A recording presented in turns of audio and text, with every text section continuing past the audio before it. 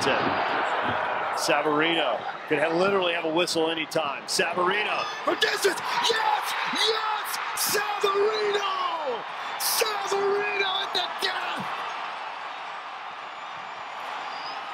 That might have been the last kick of the game! The riot's going nuts, all that tension. And Savarino delivers.